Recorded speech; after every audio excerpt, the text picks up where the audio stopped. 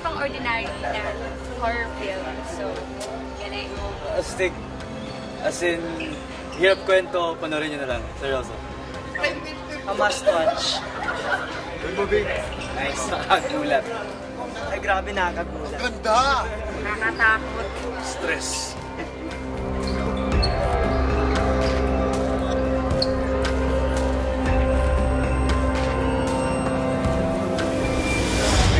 Oddly good.